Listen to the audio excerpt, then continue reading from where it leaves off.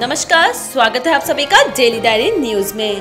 अलका याग्निक के जन्मदिन के मौके पे डेली डायरी की तरफ़ से अलका याग्निक को हार्दिक बधाइयाँ। अपनी दिलकश आवाज़ से लोगों को दीवाना बनाने वाली अलका याग्निक आज अपना इक्यानवा बर्थडे मना रही हैं। अलका याग्निक ने बॉलीवुड को 30 सालों तक अपनी आवाज़ से सजाए रखा। उन्हें भारत की सर्वश्रेष्ठ प्लेबैक सिंगर के तौर पर कई नेशनल अवार्ड मिल चुके हैं। अलका का जन्म कोलकाता के एक मिडिल क्लास फैमिली में हुआ था। उन्होंने अपनी माँ शुभा याग्निक से शास्त्रीय संगीत सीखा।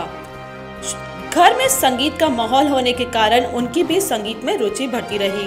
महज से छह साल की उम्र में उन्होंने काम करना शुरू कर दिया था। अलका कोलकाता आकाशवाणी में गाने लगी थी। साथ ही वो भजन भी गाया करती थी। दस साल की उम्र में वो अपनी माँ के साथ मुंबई आ गई और फ़िल्म मेकर राज कपूर से मिली राज कपूर को अलका की आवाज़ बहुत पसंद आ गई।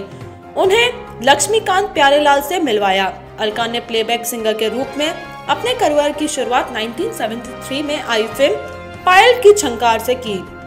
फ़िल्म लवारिस का गाना मेरे अंगने में गाया तो वो ज़बरदस्त हिट हुआ। इसके बावजूद अलका को बॉलीवुड में पैर जमाने के लिए करीब आठ साल तक स्ट्रगल करना पड़ा।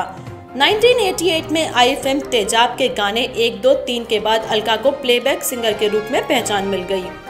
अलका अब तक 700 फ़िल्मों में 20,000 से ज़्यादा गाने गा चुकी हैं। याग्निक कुछ समय से गाना नहीं गा रही हैं। इसकी वजह आज के संगीत में बदलाव को मानती हैं। अलका का मानना है कि बॉलीवुड में गानों की मधुरता खो गई है। सात बार फ़िल्म फेयर और दो नेशनल अवार्ड से नवाजी गई अलका की आवाज़। आजकल कम ही फ़िल्मों में सुनाई पड़ती है।